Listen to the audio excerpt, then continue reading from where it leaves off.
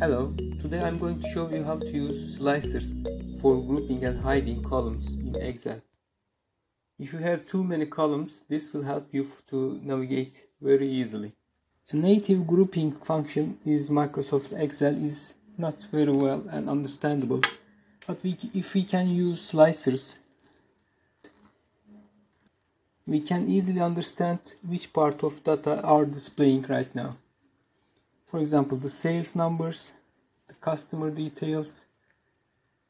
It is very easy to understand of our groups. We can use our custom group names here. Also we can define the grouping names of each columns. So it is very useful to navigate between the columns. No VBA knowledge is required in this solution. The file and the code links are in the description, video description, and just need to copy the code and paste it. Okay, let's see how it works. First of all, I create several lines. I will insert four lines. We will enter the parameters over here and also the slicer will be located here. We have two pages. The first page is for the data, the other page is the items page. Okay, nothing's here. First I create a table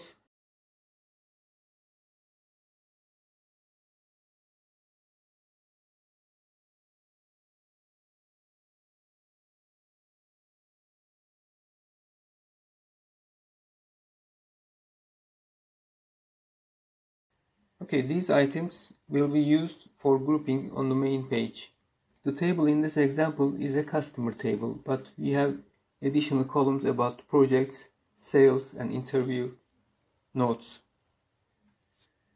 Okay, I wrote the groups item here.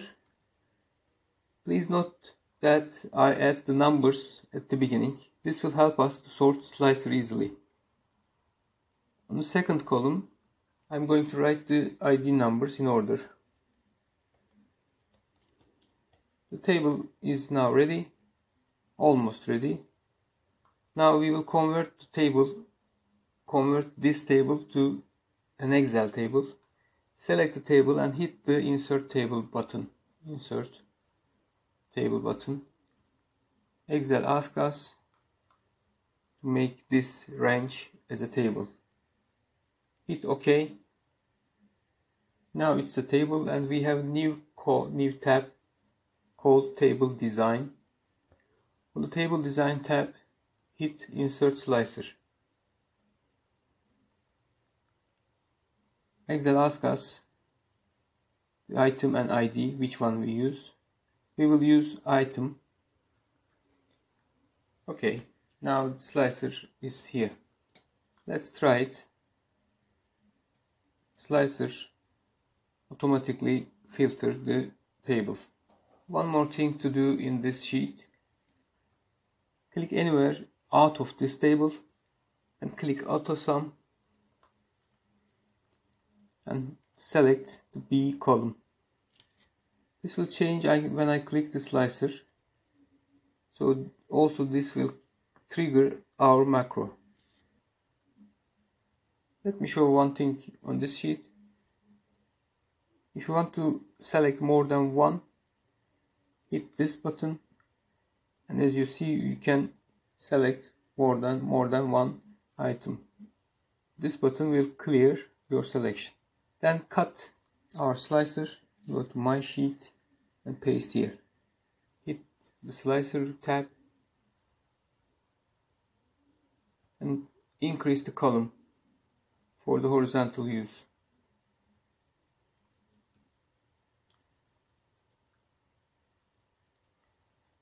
Okay, that's fine. You can change your design as you wish from here.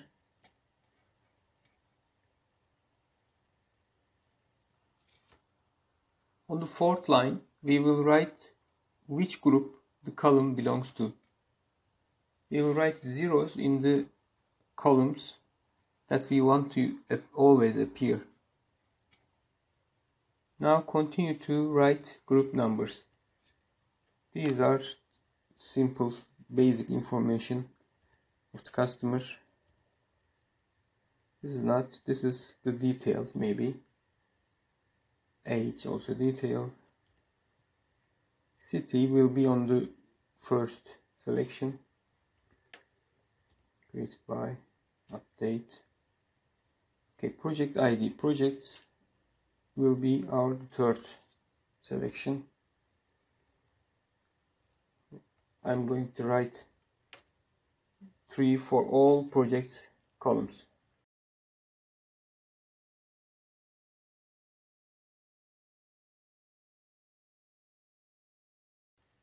That's okay. And the product, and this will, the sales, I will use the number 4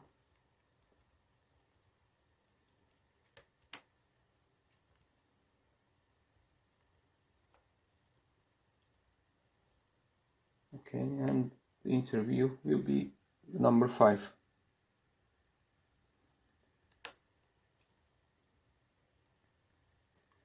Okay. Now it's ready. We can hide these rows. Now our table is ready. Let's paste our code you can find the code in the description of this video. Please copy it and then hit alt alt F11 now switch to Visual Basic Editor. Locate and double click the sheet number 8 okay? And the important thing is here the name should be item. Double click it and nothing's here. I'm going to copy my code.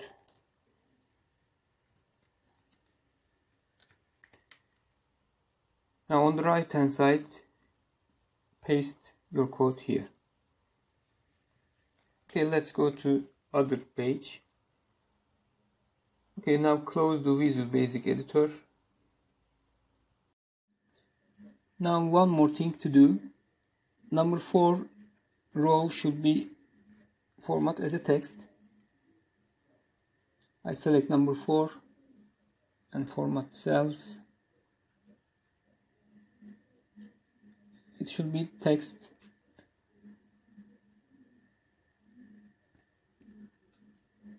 Now we can test it. I click number 2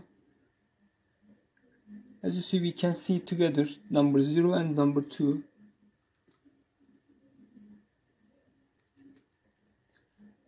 now select number 3 as you see we can see number 0 and number 3 sales also. One more thing I should do.